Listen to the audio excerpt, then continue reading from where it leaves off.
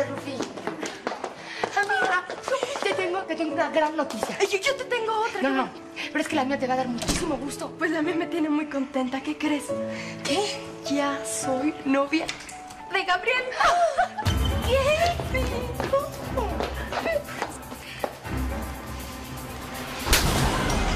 ¿Cómo te atreviste a ser cómplice de mi hija en semejante bajeza? ¿Qué es lo que te pasa, Camila? Tú le ayudaste a Romina a comprar la prueba de paternidad para que Emiliano resultara el padre de su hijo. Pero ustedes lo sabían perfectamente bien que el verdadero padre de mi nieto es Germán. ¿Viste, Carlota? ¿Qué clase de monstruo eres? Haz el favor de salir de mi casa. No te permito que vengas, no solo a insultarme y agredirme, sino también a difamarme. Ojalá que fuera eso, Carlota. Pero por desgracia sé por mi hija y por otra persona que te vio sobornando a una persona de laboratorio que lo que digo es verdad. ¿Es verdad, tía? ¿Tú hiciste eso? Claro que no.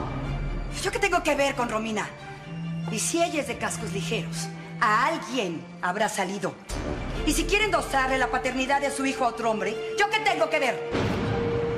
Eres peor de lo que imaginé, Carlota. Y ten cuidado, Paloma.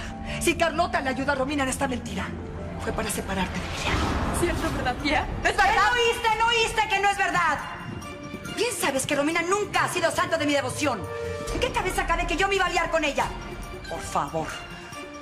Y por lo visto, Camila, este asunto te afectó mucho. Porque necesitas culpar a alguien de las porquerías que ha hecho tu hija. Pero también porque te has dado cuenta de lo mala madre que ha sido. No has sabido educarla, ni llevarla por el buen camino. Ok. ¿También me vas a culpar a mí de eso? No sé cómo, pero lo voy a probar. Voy a demostrar la clase de bicho que eres, Carlota. Y cuando lo haga, cuando se te caiga la máscara, nadie, escúchamelo muy bien, nadie va a tener piedad de ti.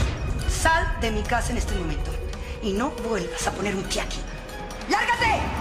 Cuídate, Paloma. Y tú también, Rufi. Porque viven con el enemigo.